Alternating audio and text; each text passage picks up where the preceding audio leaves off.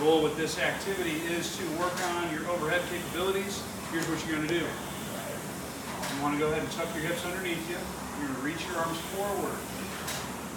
On the inhale, I want you to pretend like you got gas. You're gonna hold that in. You're gonna bend backward. On the exhale, you're going to resume the start of reaching your arms forward. Looks like this.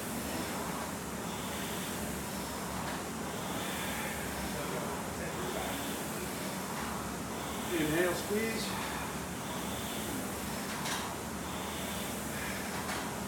That's how it's done. Give it a shot.